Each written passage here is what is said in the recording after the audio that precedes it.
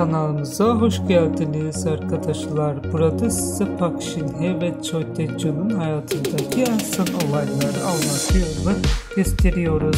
Park Shin-hye 18 Şubat 1990 yılında Güney Kore'de doğdu. Bir abisi var. Park Shin-hye popüler Kore draması Star White To Hawaii genç karakter Han Kyo-soo'yu canlandırdığında ün kazandı. Hak rolleri aracılığıyla dans ve dönüş sanatlarında içgüdüsel bir yetenek göstermiştir. 2022 Ocak 2022 yılında Çötecun ile evlendi. İlginiz için hepinize teşekkür ederim.